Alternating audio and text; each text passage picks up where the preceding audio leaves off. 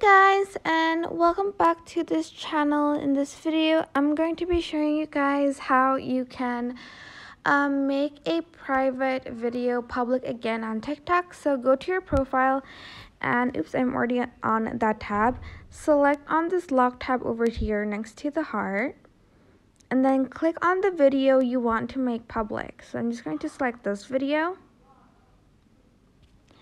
and then to make this video public, just select these three dots over here and go to privacy settings. You are then going to go to who can watch this video and click everyone.